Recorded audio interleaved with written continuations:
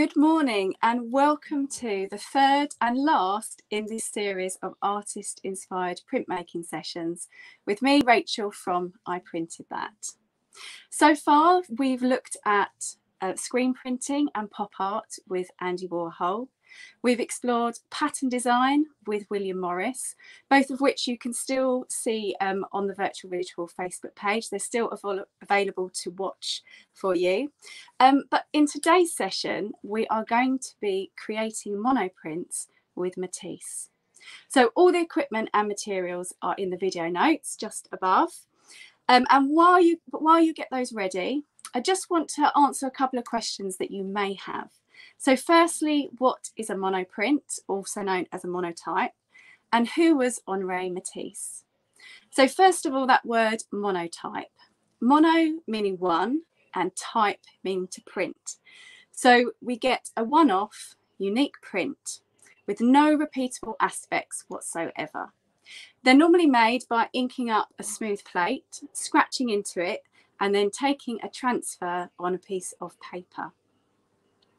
So nice and simple, you'll be glad to know. That's, that's how you create a monoprint really. Uh, the second question, who was Henri Matisse? So he was a French paint, painter and sculptor born in northern France in 1869. Now, initially, he worked as a legal clerk and he studied law, but during a bout of illness, he took up painting. So smitten with it, he decided to become an artist. And he's well known for his colourful paintings, his sculptures, his sculptures, um, and also his large, vibrant collages. Um, some of those collages we're going to have just have a take a look at now.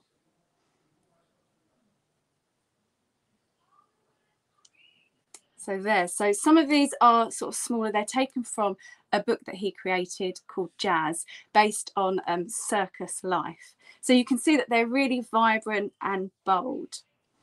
Now, we could say that his, so thank you very much for the picture, Victoria.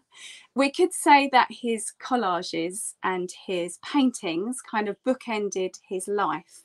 But during his uh, late 40s, he created a series of 69 monotypes, which we're going to have a look at now. These are effortlessly fluid. And when I look at them, I get a really calming feeling from them. So we're just going to have a look at one of those monotypes now. Um, that shows a picture of a face. He used different subjects for this, so lots of faces. He also used just still life, so fruit in a bowl, um, right through to um, the natural world. And it's these monotypes and the collages that we're going to fuse together to create some of our prints. So thanks very much for that image as well, Victoria. So just quickly run through how the session's going to work today. We're going to start with a couple of warm-up exercises just to get us used to that print printmaking technique. Um, I'm going to show you two different types of ways to make monoprints. And then at the end, we are going to do that fusion of collage, colour and printmaking te um, techniques, tie them all together and end up with our final piece. Now we kind of need to start at the end because we want to make up our collage so that it, uh, we give it time to dry before we do our final print. So if you're ready, um, please get together your uh, card or cartridge paper that you're going to be printing onto, your coloured paper, your scissors and also your glue. Now when Henri Matisse cut out his collage. Um, and there's a great uh, video on YouTube, which I will put in the comments for you. He would use a massive pair of scissors, much bigger like this, much bigger than this, like big tailor scissors. And he would hold his paper upright. The paper would be pre-painted. It was always painted paper he used. And then he would just cut into it. He didn't draw any shapes on it. He just cut right into it. So that's what I'm going to want you. To, I want you to do now. So thinking of some of those uh, natural shapes uh, that he used and those bold silhouettes, um, I'm just going to cut some colour. And he often described it as cutting through colour or flying with scissors. So I need to keep it nice and upright like Matisse did. if you can see that. And I'm just cutting various shapes. Okay, so that's the first one. Another one. Kind of like a leaf shape, just a single leaf.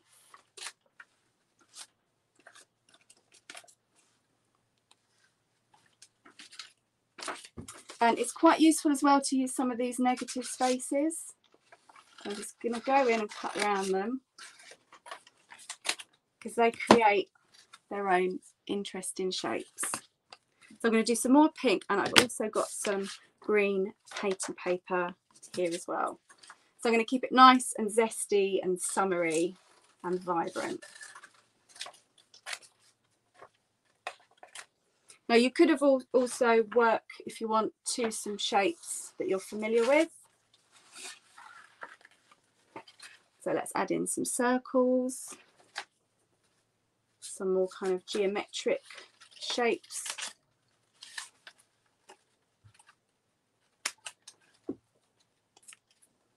And then I'm going to start in on my green paper. So again, you're holding it nice and upright it's funny we we quite every time I do it I kind of want to sort of keep down but we need to if we do it like Matisse did you do get a real sense of the shapes I think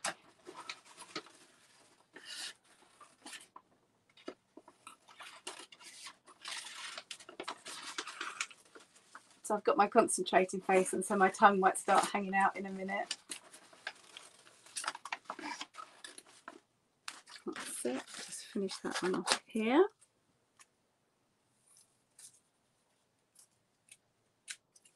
There we go, there's a green leaf shape. And I'll just do a couple more, and that just bring in some of this uh, blue, sort of turquoise colour.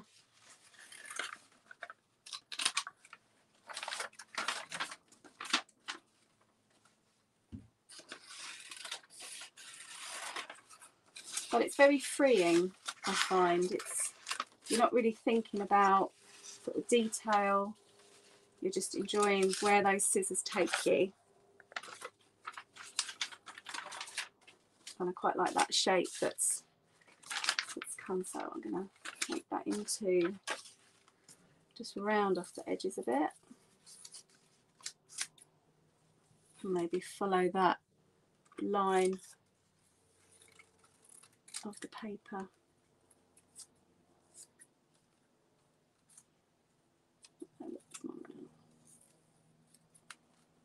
Okay, so I've got all my cutouts done. Hopefully you have too. So what I'm going to do now is pop you down um, so we can carry on with the session.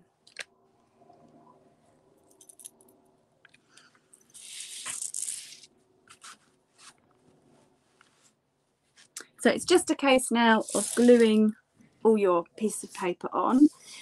Just arrange them so that you've got a good composition. Think about these negative spaces as well as the actual cutouts themselves.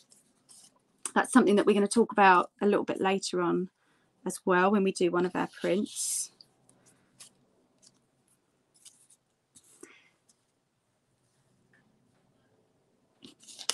And some of Matisse's collages were absolutely huge and they would cover floor to ceiling on the wall and he would have an assistant pin them up for him because it was only later in life when he got into his collage. I'm just going to make some of these a bit small actually, um, because he had a bout of stomach cancer and was confined to a wheelchair.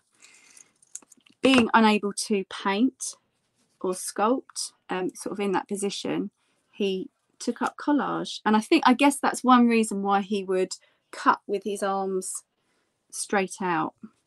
Anyway, so he would have an assistant and she would be climbing on ladders and would um, be pinning up all this collage. So we'd pin it first of all rather than than stick it.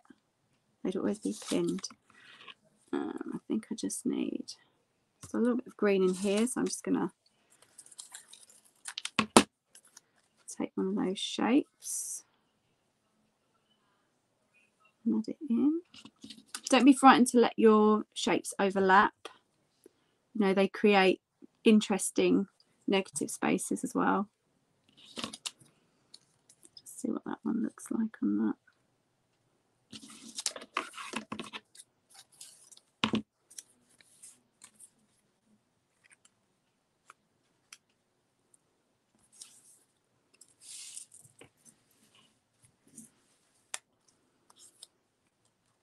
Okay, so I'm happy with that. So I'm going to stick it down now.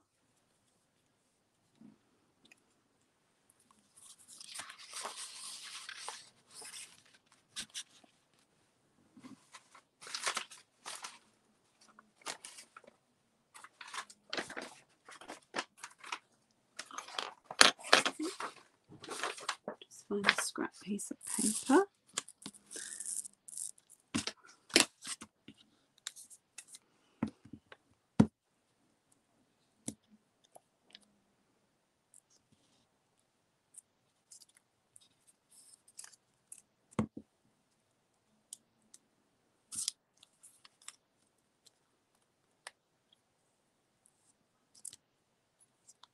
Just remembering where they all went.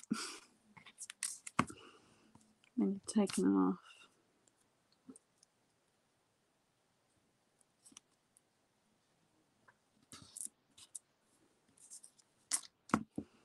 Make sure you go right up to the edges with the glue because when we print we don't want them falling off.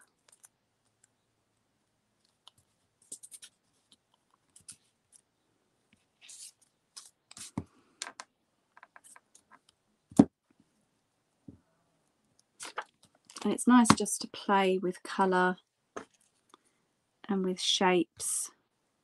I think as adults we sort of lose that playing aspect that we had when we were children. So it's nice to sort of go back to childhood and we're just there's no pressure. We're just cutting and pasting. I think that one that one go. I can't remember now. Let's pop it there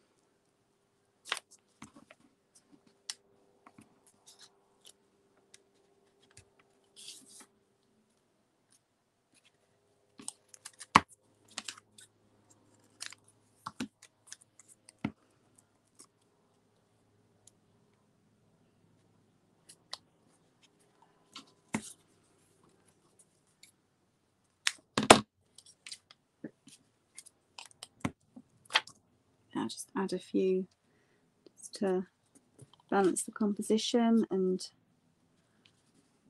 those negative spaces.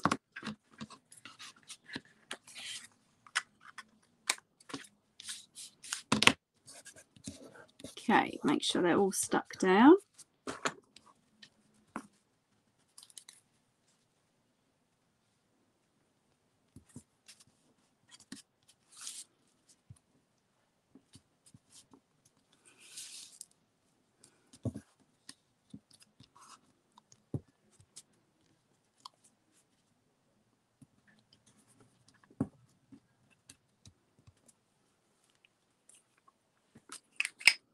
Okay, so we're finished with our glue and our scissors.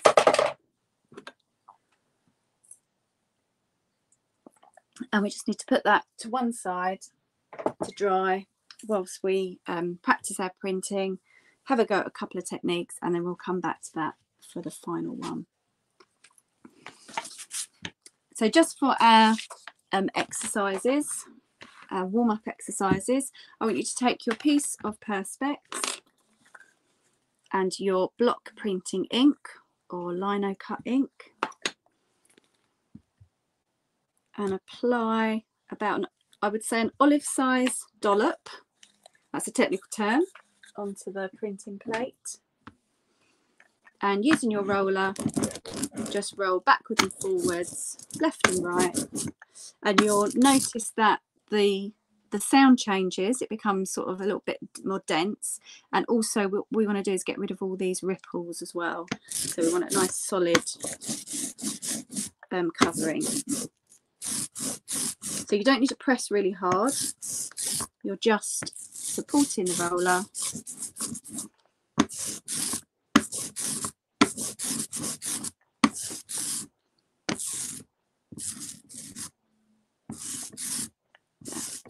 We don't need to make it much bigger than our piece of paper that we're going to be printing onto. And then we're going to start by using a pencil. So make sure it's not um, very sharp. We want a nice sort of blunt end really because we're going to be making marks into this. So all I want you to do is just draw a series of marks. Whoops.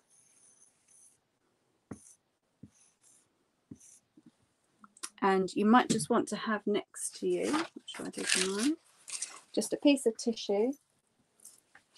Just to take off any ink so you can really make scratches into this. So we just want straight marks, some zigzags,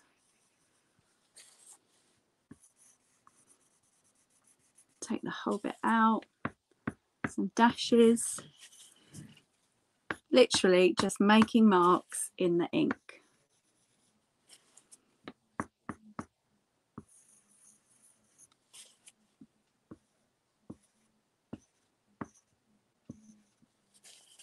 And then when you've done that, take your scrap piece of paper, lay it on the top, and then using your fingers, we're going to go all over the back of the paper, making contact with the ink. So I would suggest you do it in sort of a methodical way to make sure you don't miss any bits out. So start from the top, going left to right, right to left.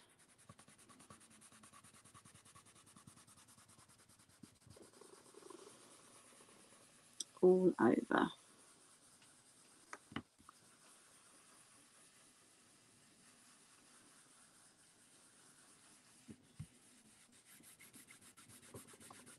I'm just going to go once more all over just to make sure.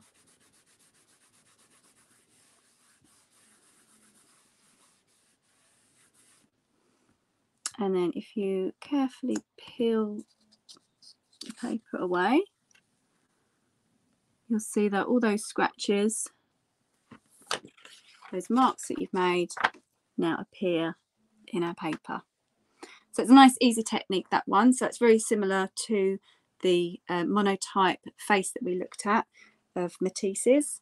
So that's how, how we're going to make our first one. So the next um, type of mono print I'm going to show you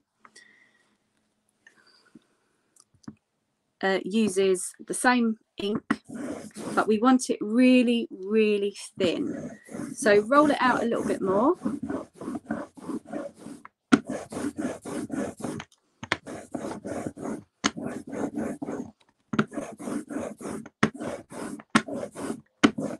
And I always find with this technique, it's a little bit like a pancake. The first one isn't always as good, but it's the second one that is. So with this one, just take your paper and just place it on. Don't press it down, just very carefully place it on without touching it. And what we're going to be doing is drawing on the back.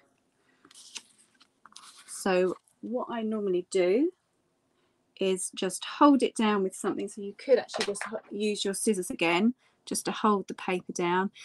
it's not really going to move but i think there's something psychological about having a piece of having your hand on a piece of paper while you're drawing that he- helps you go a bit steadier because you don't want your hand to be smudging here because it will create lots of smudges and again same thing we're just going to make some marks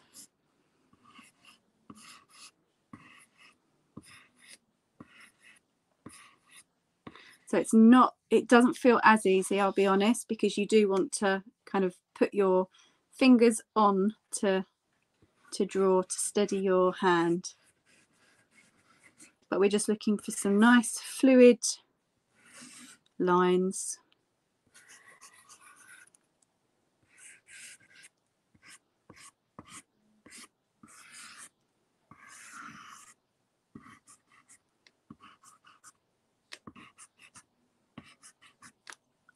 and then carefully peel the paper again. And then that's how we make that sort of print. So you'll see that it's picked up a lot of this but if I was to go in again um, it wouldn't pick, there wouldn't be so much ink left on the plate so we'd get an even better print. So I'll just quickly show you that one. Just got a piece of paper handy. I think I might just use, I'll just use this one.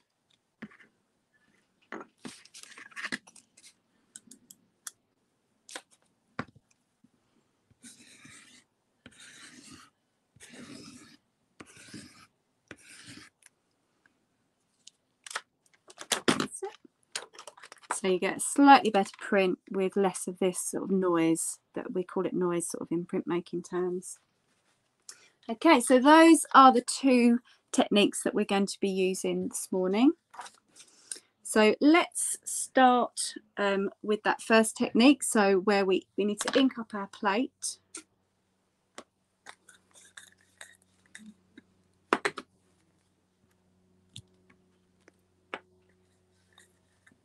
So same amount of ink.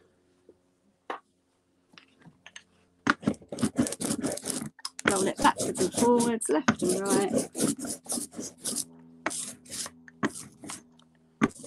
Make a good even coating.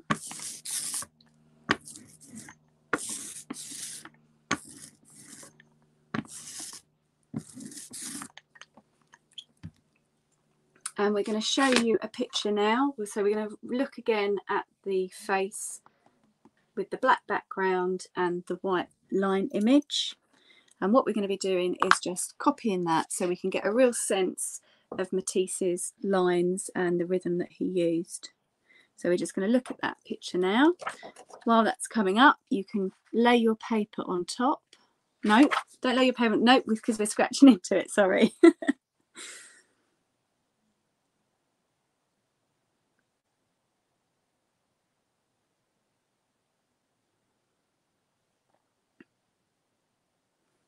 Okay, so we don't seem to have the picture at the moment, but what I will do if I scoot, oh no, um, could we have the other one up, please? Sorry, the um, the face again. Thanks, Victoria. Oh, perfect. That's it. Apologies if it was already there. I can't see my my um, screen very well.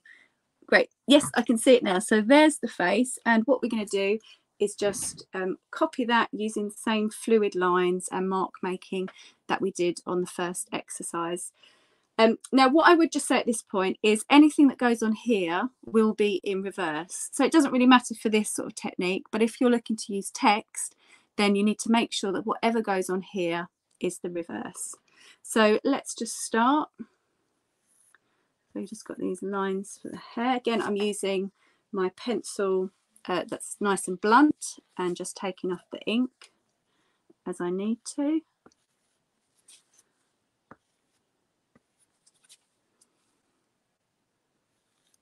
It doesn't have to be, you know, a total um, accurate portrayal of the picture. We're just using it as a sort of a guide, really.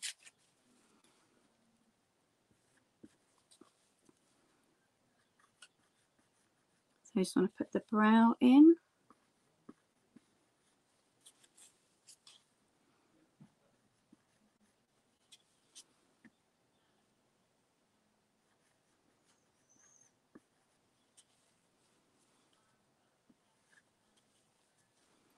Now I'm not very good at drawing noses so I'm going to apologise to this lady in advance.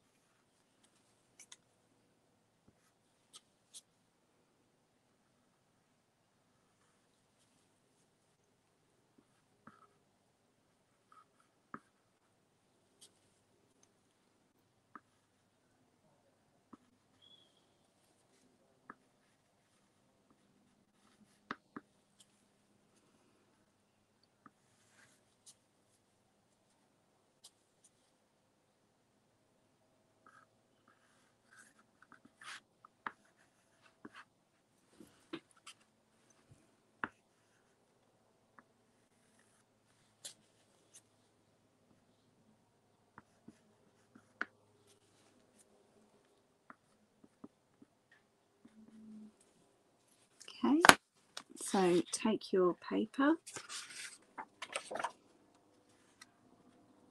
on top of the image, and if you remember, we now just go over the back.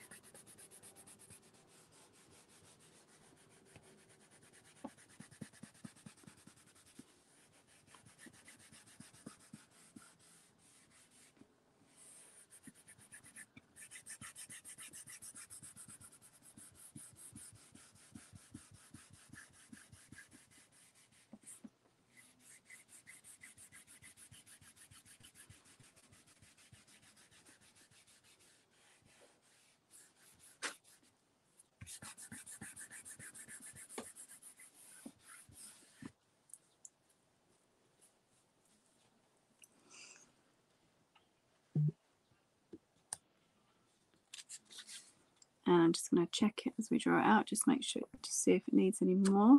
So it needs just a little bit more.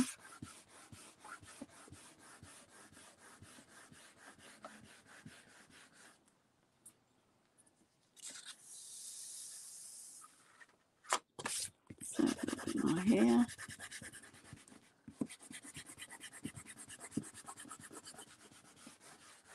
You could use a back of a spoon as well if you find your it hurts your fingers. Back of a wooden spoon, that works really well. You could use another roller.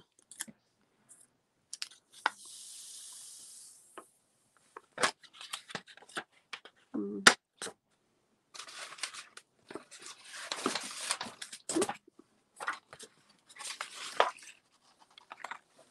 So there we have our first monotype or a monoprint inspired by Matisse. Uh, then we can go on to the next exercise that we tried. So again, we're just going to use the roller just to smooth that ink out again. And if you remember, this is where we placed the paper on the ink and then drew into it. Make sure it's very thin. Um, and if you want you can just take a piece of paper you know like I said like the pancake. So pop that on top just to sort of get rid of most of that. And while you're doing that we're going to look at the next picture which is it's actually not a monotype print. I'm going to full transparency here. Uh, the next picture is called the plane tree and it was done by Matisse in 1951 and it's actually um, a serigraph or a, a screen print. But it's a really good example that we can use for our next printmaking, sort of for our next type. Okay, so we're just waiting for that tree, picture of the tree to come up. Thank you very much. So lay, because this is, let's get it on my screen as well. I'm going to do a landscape tree.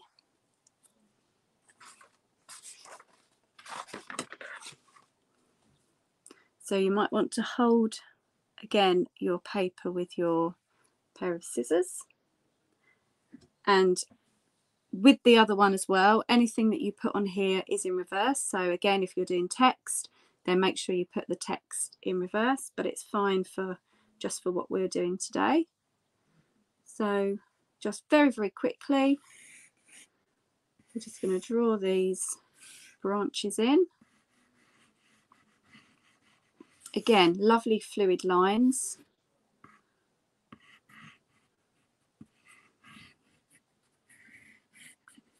There's the roots and the trunk.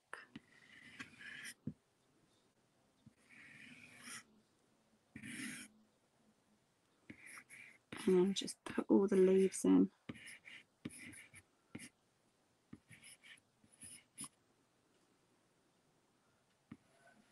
Let's right down there a bit further.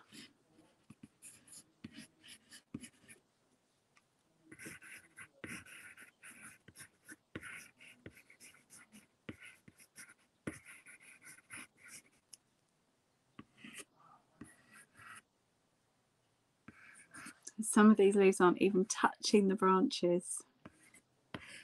That's how sort of quick he must have been drawing.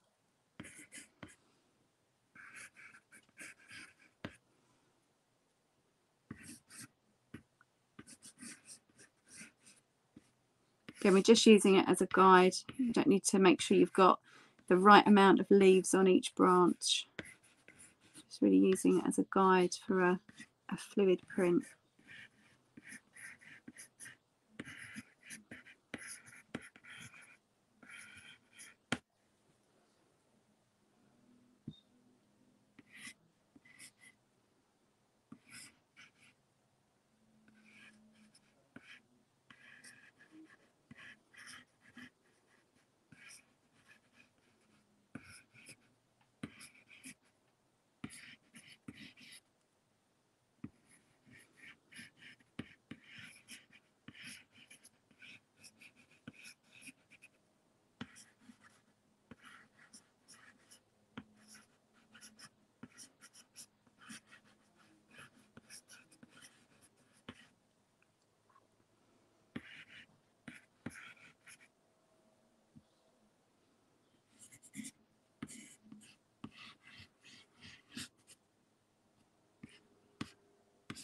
So just take a look back back at it make sure you're happy. And then you can pull the paper off to reveal your print. Okay. So how did you find that? Um, I've just found ink up my arm. So hopefully you're as messy as me because it means you're having fun. Great stuff. Thank you very much Victoria for the photo for the picture so remember the collage that we made a few exercises ago? Well, we're going to use that again now for our final print. And I'm going to leave it up to you whether you wanted to use this technique where you ink up the plate, scratch into it with your pencil and then take a print. Or we can use this, this technique where you use a very small amount of ink make sure it's very thin put the paper on top and then draw on it so i'm going to let you decide which technique you you preferred um, and the final print's going to be made on this so just bear that in mind and I would use something that's just around you. So maybe you've got a nice plant, maybe you just look over and you've got some ornaments, maybe a lamp, um, and just draw those shapes. Again, we're looking at shapes, we're not looking at lots of detail. So we've had a look at how Matisse used um, just lines to create um, his drawings, his prints. Um, so we're going to do the same now. So I'm actually going to use uh, this technique. And in front of me, I've just got a bowl um, and a plant and a vase. So I'm just going to make sure this is really nice and thin.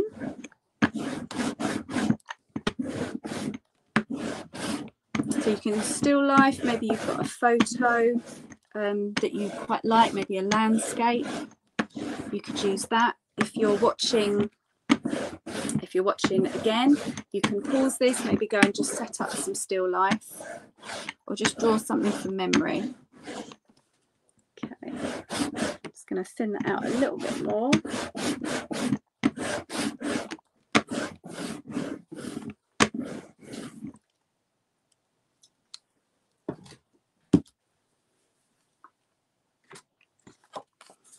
Um, which way do I want this? So I think I want it that way up. So I'm going to place very carefully down there. And then I'm just going to draw my bowl. Again, very just fluid lines. Draw my vase.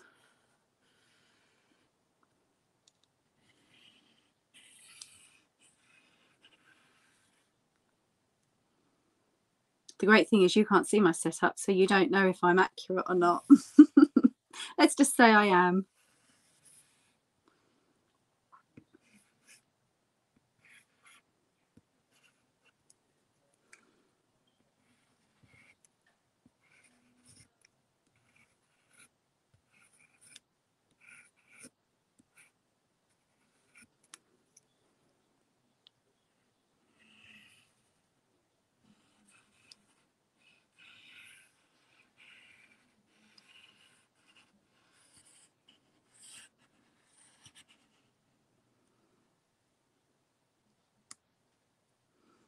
And you might want to add especially if you're doing this um, type of print you might want to just colour in some of those overlapping bits.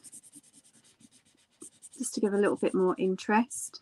So we're going to have some more solid shapes to contrast our bright coloured collage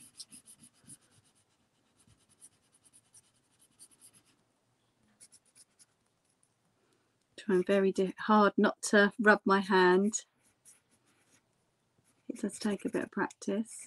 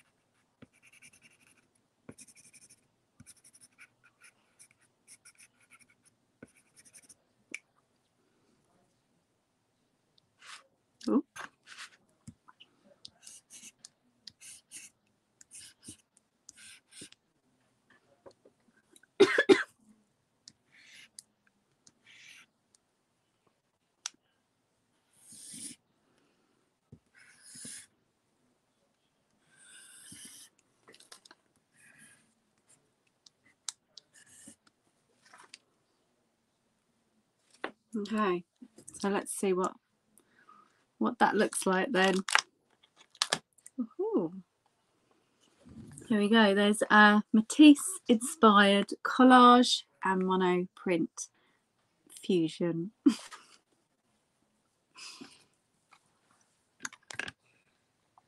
so I hope you've had fun doing that today, just experimenting and playing around with collage and also mono two monotype techniques. Now, I think um, if you look into the life of Henri Matisse, I think he's a really good example for us all because during his life, when he had um, his illnesses, he always kept creativity um, at the forefront. When he was diagnosed with the cancer and confined to his wheelchair, um, and couldn't paint, as I said earlier, he still wanted to be creative, but he just decided to do a bit a bit differently, something that he'd never really done before. And he's also credited as being one of the first artists to use collage um, as um, an artistic technique. So I think it's a really good lesson to all of us um, that you know if you can't do something one way, try and do it another. So thank you so much for watching today, and um, I hope you've enjoyed the three um, in this series of artist inspired printmaking workshops. And I hope to see you again very soon. Take care. Bye.